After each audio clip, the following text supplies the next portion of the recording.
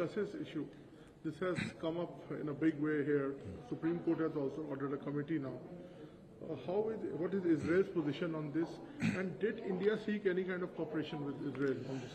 Yeah, uh, our position is very clear. Uh, NSO, the country, the, the company which owns uh, Pegasus, invented uh, Pegasus, developed, uh, is a private company in Israel. Yet they still need to get an export license because of uh, of the nature of the software.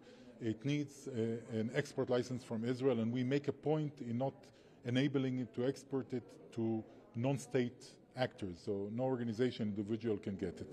What about India? India's I, I, do not know anything about what's happening uh, in India about it, and all the rest that is happening here, I believe, is internal issues uh, Uh, in India, and I would rather not go into them.